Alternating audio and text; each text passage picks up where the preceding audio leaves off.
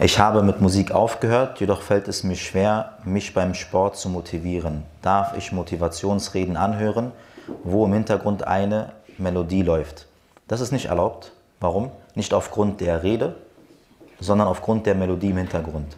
Ja, auch diese Melodie ist Musik. Und deswegen darf man ebenso dies nicht hören. Ja, ذاكر الأصحاب